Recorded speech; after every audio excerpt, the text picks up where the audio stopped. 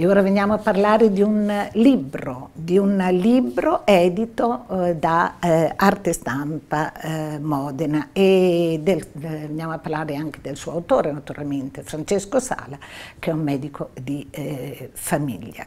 Due le passioni di Francesco Sala, lo sport e i grandi artisti del passato, ricostruito in un libro La vita e l'arte di Francesco Stringa, ma è uscito in ordine di tempo il suo ultimo eh, romanzo romanzo, un giallo, Il ladro di miracoli. Allora noi sentiamo l'autore e la descrizione del eh, protagonista, ovvero il commissario Eleuterio Dallari.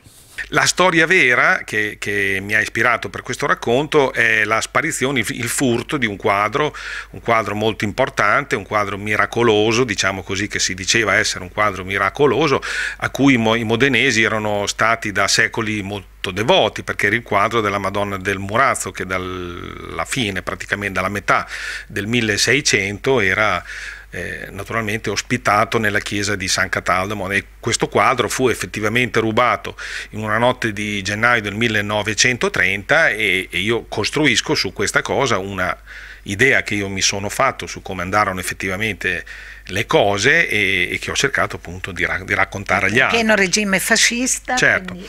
sì, ho voluto raccontare anche un po' eh, così quello che era il clima dell'epoca eh, attraverso, diciamo così, anche che poi io sono andato a documentarmi prima di scrivere, ho voluto, mi sono letto un po' tutti i giornali dell'epoca, tutto quello che era un po' quello che succedeva in città, perché serve molto. Qui a Modena abbiamo la, la fortuna di avere con, conservato praticamente tutto, c'è una grossa cultura della conservazione della memoria, abbiamo degli archivi straordinari e quindi basta solo allungare una mano e si trova quello che uno vuole, se si, vuole documentarsi su un periodo. E siccome mi piace fare le cose fatte bene, ho, ho costruito anche questi che sono dei, così, dei racconti eh, studiati, raccontati da me, eh, ho voluto ancorarli a, a, uno sfondo reale che è quello della mia città. Insomma.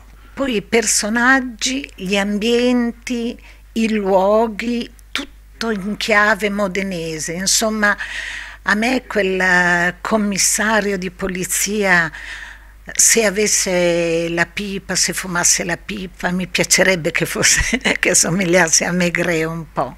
È un soggetto un po' particolare. Beh, insomma, eh, è inutile dire che cioè, mm, io mi sono ispirato effettivamente a, a Simenon, io sono un grande eh, estimatore di questo scrittore francese, insomma, e di questo personaggio. È chiaro che il mio non è Maigret, ovviamente, però potremmo dire che così un un megremo modenese per certi versi, insomma, perché credo che abbia questa particolarità, insomma, un po' anche per quanto riguarda le sue abitudini di vita, il fatto di frequentare osterie, bere lambrusco, mangiare le nostre specialità, che credo che non siano solo un fatto alimentare, ma siano chiaramente un fatto di cultura, anche questa, così, questa abitudine a frequentare posti in cui si potevano giocare a carte, fumare, bere. Allora, allora ormai quasi, ormai decisamente. Decisamente, quasi. ma infatti sono, è, è, praticamente la Modena tra le due guerre questa. Ecco, ecco allora c'è questo personaggio che è il commissario,